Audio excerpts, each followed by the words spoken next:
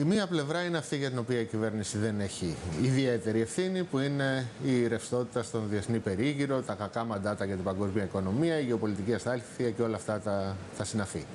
Το δεύτερο, που βέβαια έχει να κάνει με το χρόνο με τον οποίο επιλέγει η κυβέρνηση, είναι ότι κάνει κάποιες σπασμωδικές ενέργειες.